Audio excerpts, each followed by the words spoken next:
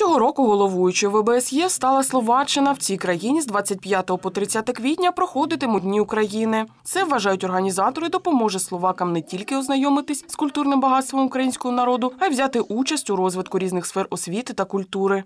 Ми дуже раді, що за 5 років е, були підписані були 15 договорів, тож між Кошицями і Кривим Рогом по співпраці спорту. Це було 2017 року.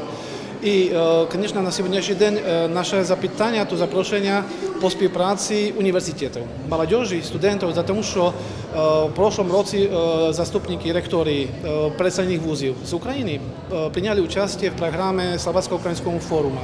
І там було желання більше співпрацювати, розробляти співпрацю між студентами, між університетами. Важливою частиною заходу стане форум з економічної безпеки. Там свою дискусійну панель представлятиме один зі співорганізаторів Донецький університет економіки і торгівлі. На форумі українські студенти матимуть змогу побачити можливості освітньої програми Erasmus+.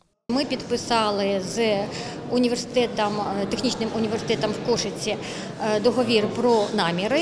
А у цьому році ми сподіваємося підписати договір про обмін студентів, про спільні наукові дослідження. Тобто ми відкриваємо дві е, магістерські програми в сфері економіки і в сфері енергозбереження, які дозволять нашим студентам виїжджати у Словаччину, отримувати диплом у нас і отримувати диплом е, країни Європейського Союзу.